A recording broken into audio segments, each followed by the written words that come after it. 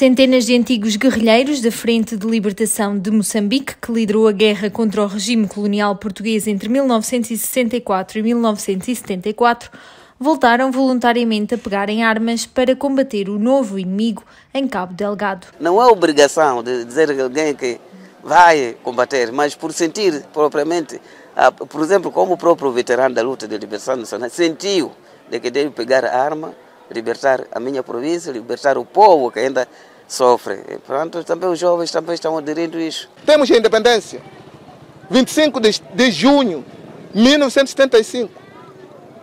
A nível do país todo, ficamos numa, numa boa vida, porque já tínhamos, já temos já o, o nosso país. Então há pessoas que andam, andam como estão a ver, andam nos estragar. É por isso que nós estamos a reagir de novo para ajudar esses jovens para poder combater esses terroristas. A designada Força Local obedece ao comando das Forças Armadas de Defesa e Segurança de Moçambique e é apoiada pelo Ministério da Defesa, sendo de adesão voluntária por parte de ex-combatentes que ainda se sentem em condições de voltar a lutar.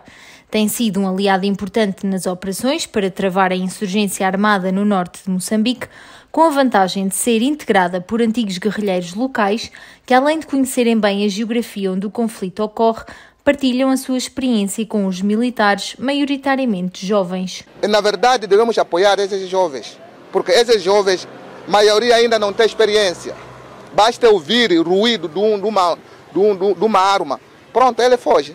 Coincidentemente, a insurgência armada e este movimento voluntário de guerrilheiros desmobilizados que decidem voltar às trincheiras ocorre na província em que a luta de libertação colonial começou a 25 de setembro de 1964. A província de Cabo Delgado é rica em gás natural, mas aterrorizada desde 2017 por rebeldes armados, sendo alguns ataques reclamados pelo grupo extremista Estado Islâmico.